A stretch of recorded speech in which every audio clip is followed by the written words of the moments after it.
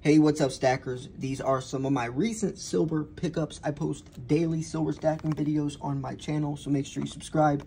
We have the 2021 Type 2 Eagles, another tube of the 2021 Type 2 Eagles.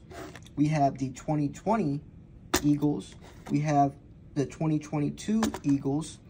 We have a tube of 2023 Britannias.